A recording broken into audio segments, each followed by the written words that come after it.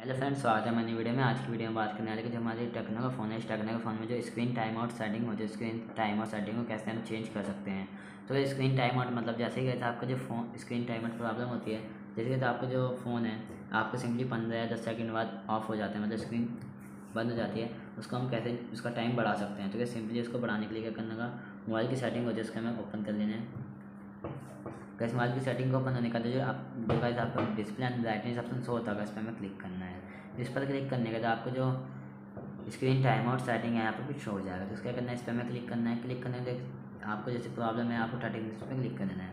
तो जैसे आपकी जो प्रॉब्लम है, वो आपकी सॉल्व हो जाएगी। तो इस तरीके से अपने स्क्रीन टाइम आउट सेटिंग की प्रॉब्लम उसको सॉल्व कर सकते हैं।